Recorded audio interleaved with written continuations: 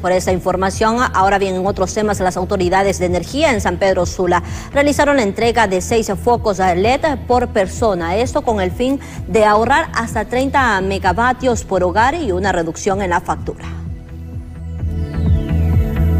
Sino también los focos incandescentes o los focos eh, de lámparas fluorescentes compactas por las lámparas LED que ahorran eh, muchísima más energía que los otros. Por ejemplo, un foco LED de 6 watts puede, o 9 watts puede sustituir a, uno de 100 watts.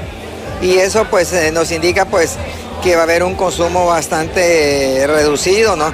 Si logramos eh, cambiar en todo el país eh, la cantidad de focos. Creo que aquí andan como en más de 400, 500 beneficiarios, pero ya se ha hecho anteriormente en San Pedro Sula, Chamelecón, en Tela, Ceiba, en diferentes lugares del país.